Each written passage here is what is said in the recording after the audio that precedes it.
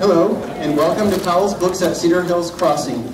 We are extremely excited and honored to host tonight's guest author, Jim Butcher, with his newest book in the Dresden Files series. Harry Dresden is both a wizard and a private investigator in a modern version of Chicago.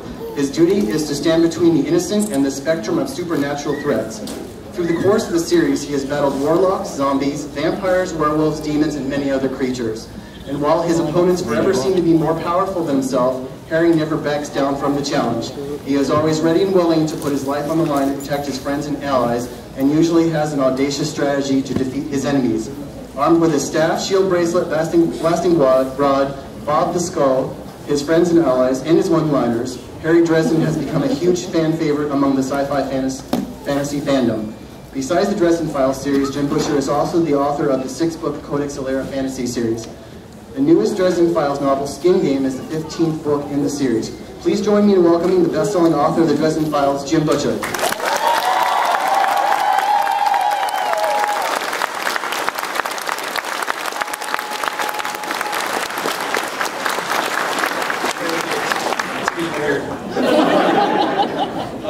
Hi. Uh, so, first things first, uh, uh, yes, my hair is long. I, I told everybody was going to grow back. I said that, I promise. There. Uh, mission accomplished. Okay. So, this is a, a question and answer type thing, um, because I, I'm, I'm kind of a terrible speaker when there's nobody to, to work with me. Uh, so, uh, I'm going to need a a straight man. Somebody has to ask a question. Here we go. First of all, I want to say thank you for Butters. You are welcome, Uncle Butters. Is, will we see Mavra again? Will we ever see Mavra again? Yes. There. One of the rare times I give you an unequivocal answer. Uh, in a magenta shirt here. You totally got me on the April Fool's Day joke. Oh, did, I totally got you on the April Fool's Day joke? I will tell the people who perpetrated that. Um, I thought that was hilarious. The the, the Harry Dresden Broadway musical. That, Oh, yes. They dropped, they, dropped, they dropped just enough names to make it seem like, well, yeah, maybe. I mean, they did Spider-Man musical, so. Uh, so I thought that was that was fairly brilliant. Right here. How do you push past the part when you're reading it and you look at it and you say, oh my god, I think this is total crap? How do you push on to finish Okay, how do I push, push on to finish the book when I get to the part and I'm reading it and I think, oh, it's total crap, and and how do I keep going after it when I when I hit that what I'm writing? I mean, everybody Um, else loves it, but you look at it and you're going, this is not what I wanted it to be. Well, often what I do is I go to the refrigerator and I think to myself, this will be empty if I don't get back to work. so that's a uh, that's a really subjective sort of thing, um, and as a writer, you you got to realize that just because you think it's awful and, and, and it stinks and your instincts are screaming at you that it's terrible, uh, uh, sometimes that's just an emotional reaction that doesn't actually apply to what you've written. Uh, uh, a lot of times I'll go back and look at stuff that I thought was awful when I was getting it done, but I'll go back and read over it at, you know, at the end of the book and go, oh, I don't see what I was so upset about, that's fine. so uh, uh, it's one of those things where you just have to have a certain amount of professionalism and keep going. Green shirt. So you've done the fantasy, you've done the urban fantasy, you're going to do steampunk. Would you ever consider like uh, cyberpunk? Would I ever consider writing a cyberpunk? Uh, uh, I mean, uh, since I've done, done fantasy and urban fantasy, and, and now I'm doing a steampunk series. Um, sure, I guess. I mean, it's not really my favorite genre, uh, uh, but I could I could do some kind of matrixy thing if I wanted to. Um, uh, I don't know if I'll ever go I'll ever go and do that because I'm I'm a fantasy author, sir. Uh, unless I write some, I mean, there's some serious there's some serious science fiction that I want to write that, that that's based around Camelot. But anyway, that's, that's not good. Uh, uh, right over here. Um, could you give us any more information about the summer court and what their specific role is? Could I give you more information about the summer court or what their specific role is? Yes, of course. Next question. Over here. Have you ever felt like you put yourself in a corner and don't know where to go next? Or what do you do when you? Have I ever felt like I've written myself into a corner and don't know where to go next? And what do I do when that happens? Um, yes, I do that all the time. Um, uh, and you just, you keep going. You find a way to keep going. You go back and change something. You cheat. Uh, uh, you do something to change the situation your character's in and, and you know, you make, make something cool happen. anytime you're stuck in a corner like that, you don't have a problem. You have the opportunity to do something really cool. You the only challenge is to figure out what the really cool thing you need to do is. Uh, uh, but, but you have to realize when you're writing, that's not a problem. That's your brain telling you you got an opportunity to make something awesome happen and you're missing it. Uh, so go back and, and, and figure it out. Right over here. Do you have an end plan when you start? Do I have an end plan when I start? Yeah, Oh, yeah. Yeah, I've got to. I've got to know where the end is going to end up. I always know at least, at very least, I know where the book's going to start, where the book's going to end, uh, kind of a big old flashy high special effects budget scene in the middle, and like a bunch of one-liners that I want to do. Uh, right here. Um, can you give us more information about the steam, new steampunk book? Uh, can I give you more information about the new steampunk series? Um, it's it's done. It's not done. Uh, the first one's about 80% done. I was going to fin- have it finished before I left on this tour, except there was this horrible dental issue. Which uh, uh, did you know that teeth can explode? teeth can explode. Did you know that they can give you Novocaine shots directly into the tooth? They can do that. You don't want them to do that. Oh my God. Uh, anyway, uh, but back to the steampunk series. Um, uh, right now it's contracted for three books. It's uh, called The Cinder Spires. Uh, the first uh, book is called The Aeronaut's Windlass. Um, I would like to say that people are going to love it because uh, uh, it's got a cool world and it's got great characters and there's a lot of humor and action and it's very, you know, kind of intricately plotted. Uh, but really, that's that's not going to happen. They're going to love it because of the cats. I mean, honestly, it's, I, I, I never should have. I never should have written that little bastard. He's going to totally upstage the entire rest of the crew. Uh, uh, right here, sitting down. Do you have a favorite or least favorite character in the Dresden Files universe? Do I have a favorite or least favorite character in the Dresden Files universe? No, not really. I kind of like them all. Um, uh, they're characters that, that there's nobody that I really don't like writing because I'm a petulant child and, and you know I would want to do my job if there was somebody I didn't like to write. Uh, but there's nobody that I just go, oh, I'm, I'm only going to write him or, or they're special. I, I, I, I want to torment them all equally. uh, uh, over here. Um, and a statement and a question, actually. First question, uh, what's going on with Oregon? Because it went dark in uh, uh, Ghost Story. They just said it went dark, that's all they said. I mean, Oh, right. yeah. Yeah. Oh, well, the, the, the, the Paranetter's lost is, is what happened, but anyway. Okay, basically, um, I was one of the two guys in Oregon chose to do the, uh, the, the Dresden Lives LARP. And it would really help me out if I could get some more information. The other question was basically, uh, I'm throwing a character creation get together on Sunday. You're probably going to be busy, right? Not only am I going to be busy, I'm going to be like across the country. So. Oh, well, no, thank you. That's nice. But I can't play the Dresden Files game. No, I wasn't asking you to play, it's just a character creation. Oh, okay, okay. Let us speak your brain. Yeah, Right. yeah. Ideas. Yeah, I- but I'm, yeah, I'm like the only person who can't play the Dresden Files role-playing game on account of uh, I'm a power gaming weasel. it would be completely impossible to GM me. I mean, Can you imagine having that discussion with me? No, it is that way, and I'll write it that way.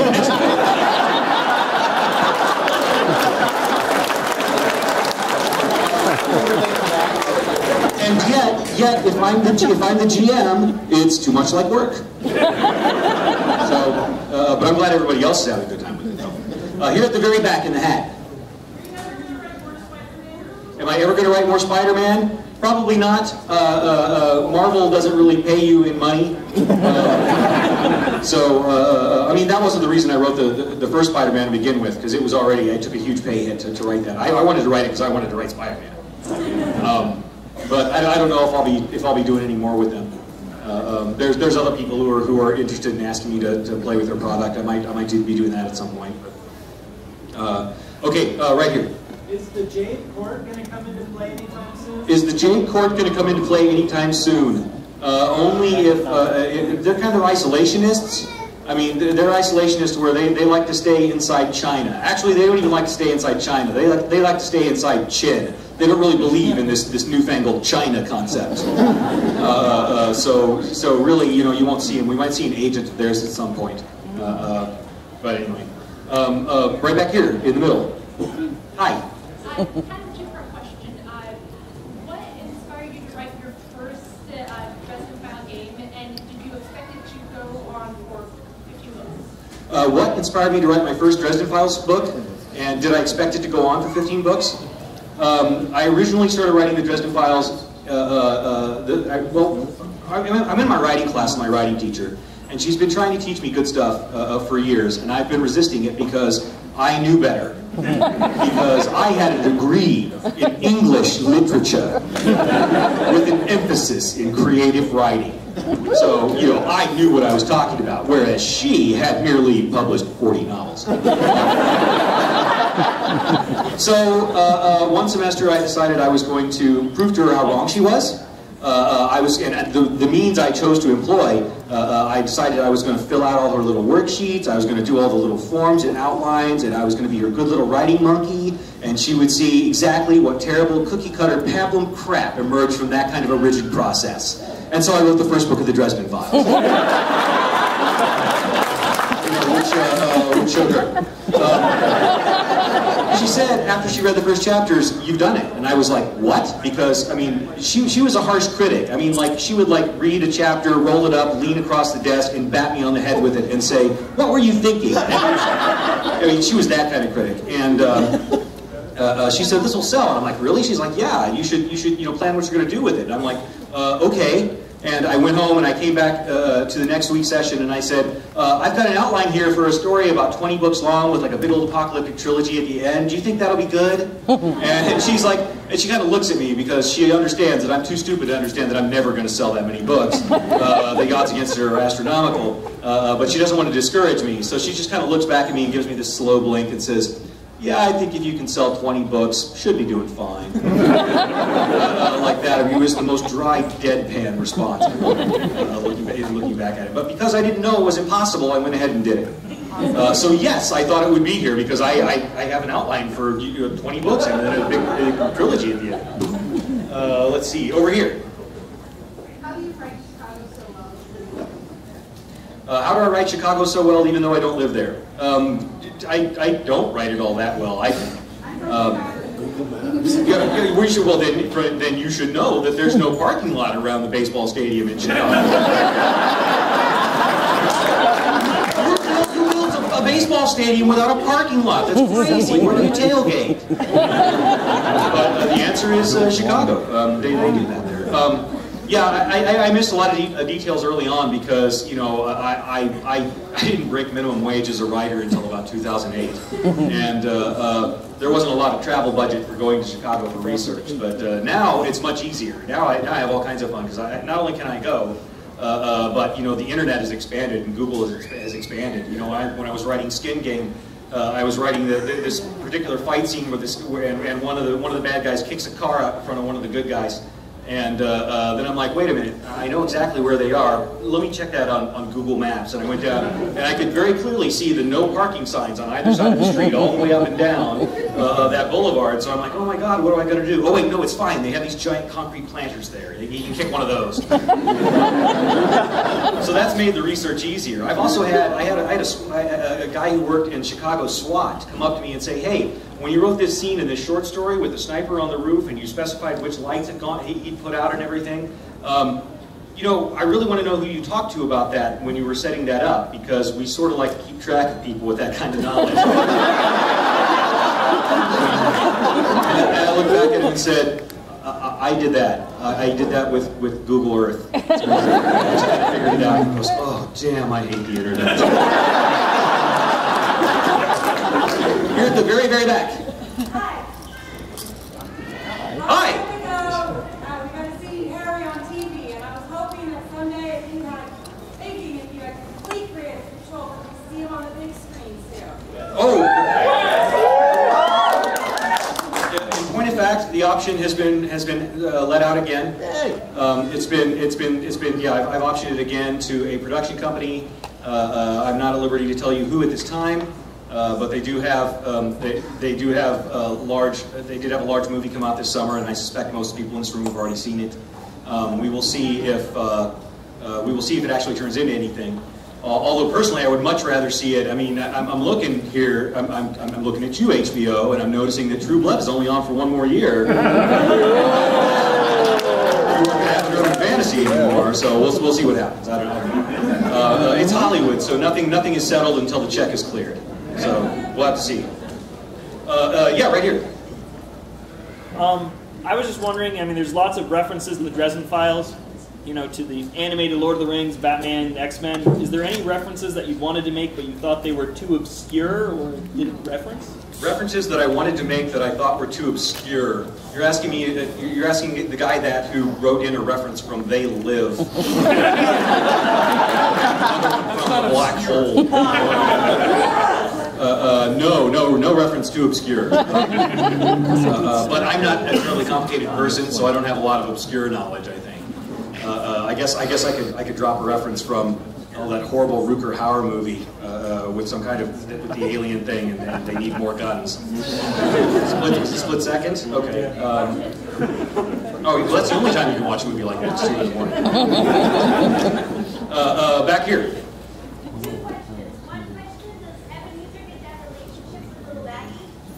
Uh, one question: Does Ebenezer get to have a relationship? Ooh, that's the first question. Okay, does Ebenezer get to have a relationship with Maggie? Uh, uh, well, you just want me to tell you? I, I, I, mean, come on. Although, although if Ebenezer was, was really all that close to his family, you'd think he'd have been around Harry more. Uh, but anyway, um, uh, here in that. Are we going to hear more about the Oblivion War? Are you going to hear more about the Oblivion War? If you did, that would make it last longer. Come on. Uh, uh, possibly I might use it elsewhere. I might use it if I spin off something or something like that. Um, but uh, uh, no, I mean, no, the, the, the, the number one people on the list of people who cannot know about the Oblivion War is wizards. Uh, uh, you can't allow the wizards to know about that stuff because they just can't let it go. And they live for forever, so you got to wait for centuries before they die, and, and, and hopefully the knowledge dies with them. You know, it, and, and they're all they're always writing books and maintaining libraries, and they're incredibly annoying for people who just want you to forget about stuff. Um, so we're talking about your outline. How detailed is your outline and or character histories? How detailed is my outline and or character history? Uh, uh, it is exactly as detailed as the fan Wikipedia. Actually, it's a little more detailed than that. Uh, uh, I've- I, I, when I first wrote the series, I wrote a, a series of two-sentence summaries of each of each book, uh, uh, and so I still have that. Uh, I made D&D character sheets of all the main characters.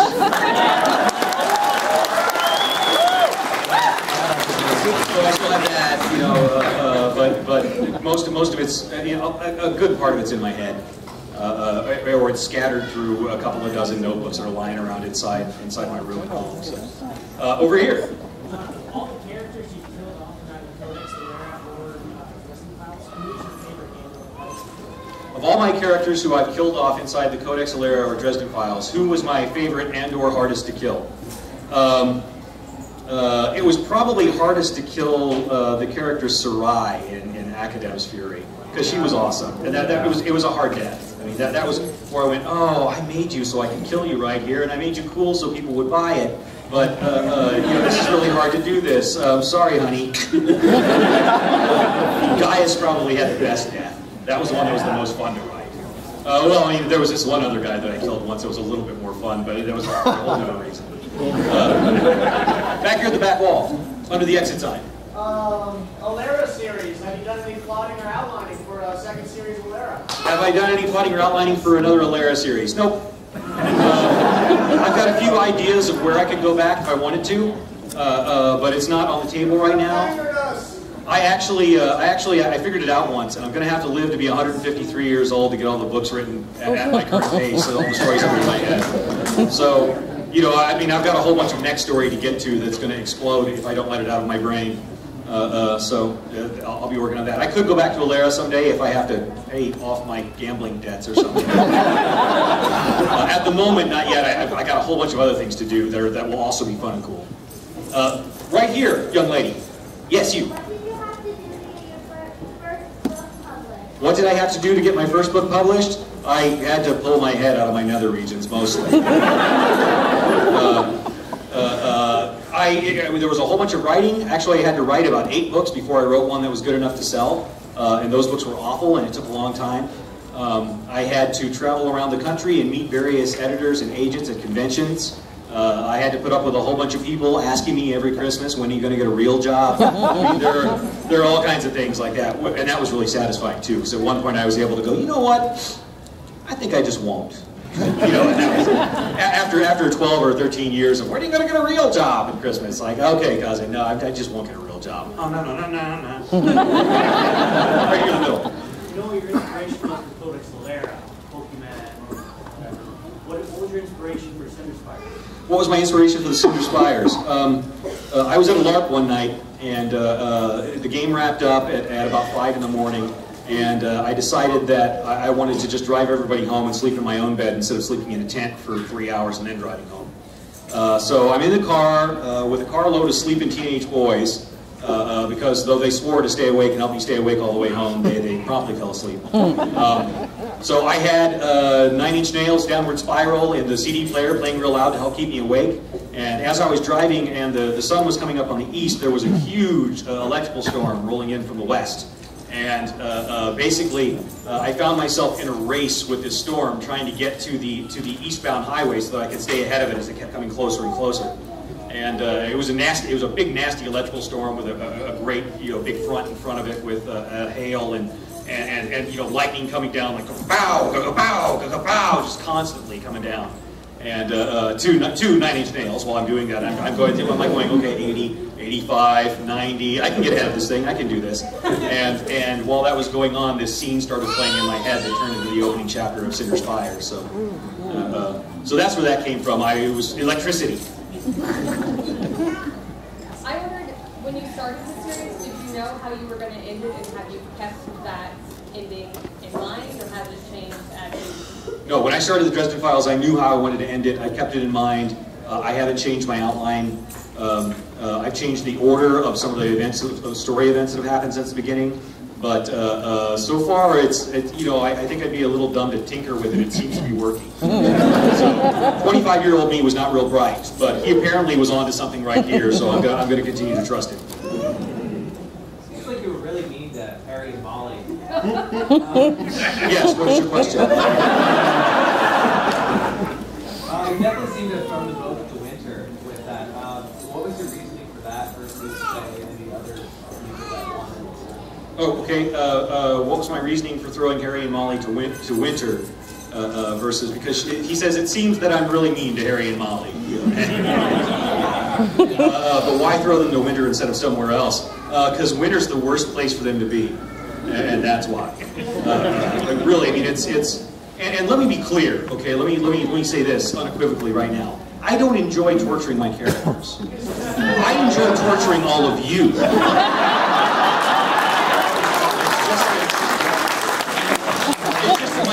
characters are really the only way I can do that without being locked away. so, so, you know, that, that's kind of what I do.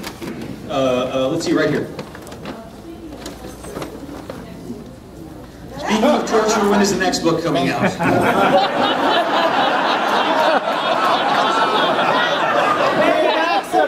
I worked, I worked six months on one of these things, and you guys are like day and a half.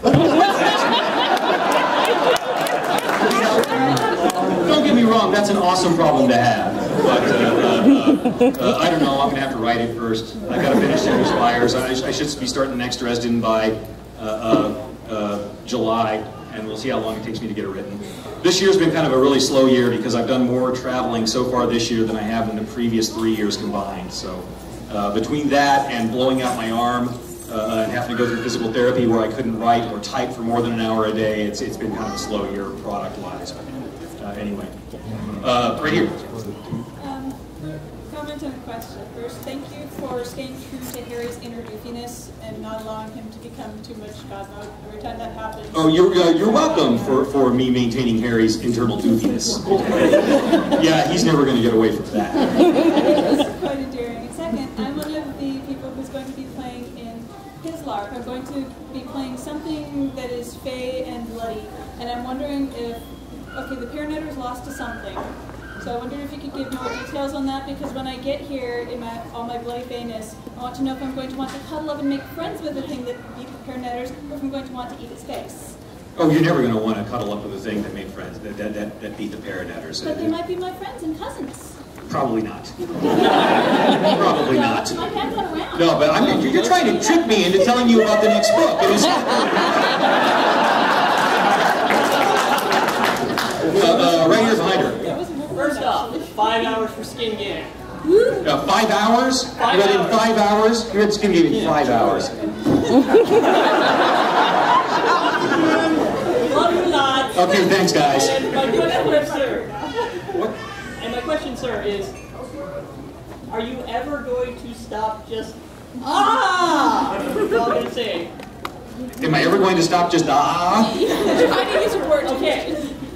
Hades. All I'm saying. Hey, okay, no, hey, would you stop? Would you, would you not spoiler anybody? I mean, would be conscious of this. There could be a riot, and I'm up at the front. That's all I'm. Okay, okay. Uh, back here.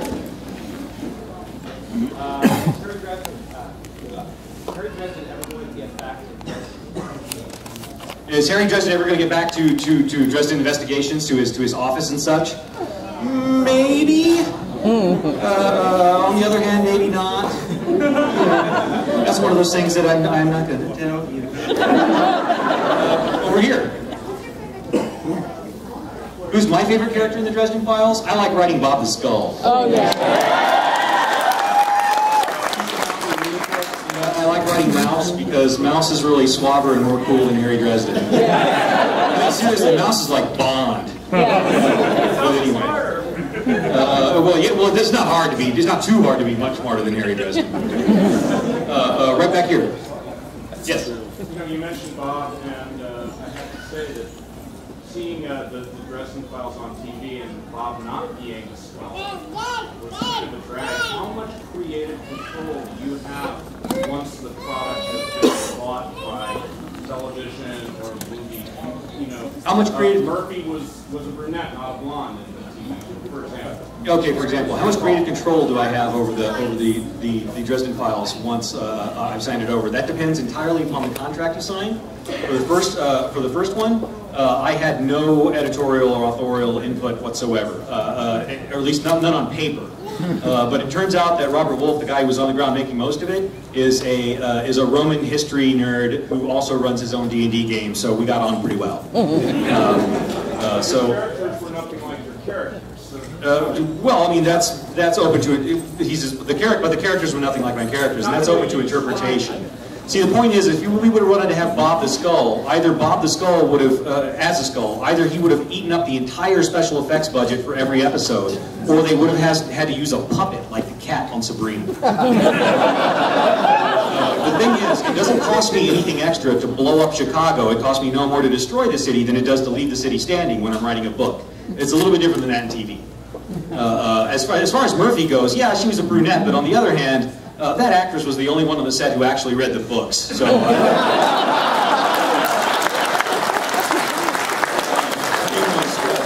right? Yeah. Yeah, yeah. and, uh, but so I, I'm prepared to cut her some slack, though. So, all right, one more question. Um, okay, right back here. Yes. what was your inspiration for the personality of Bob?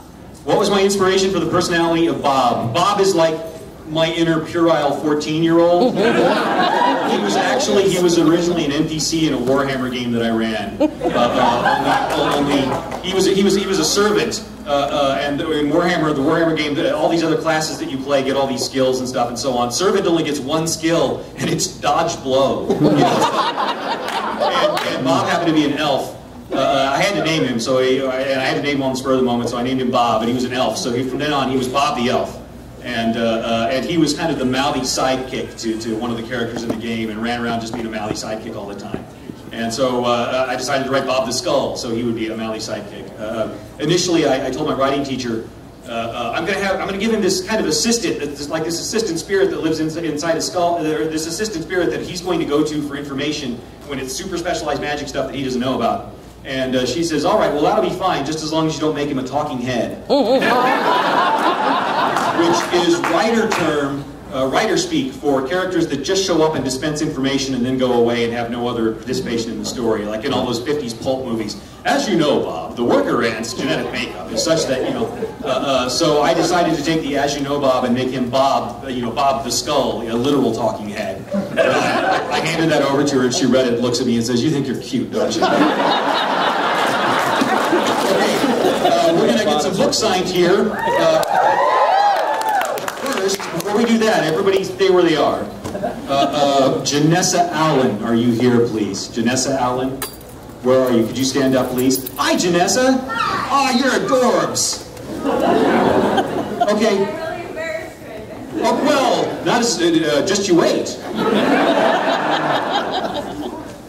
Uh, well, go ahead.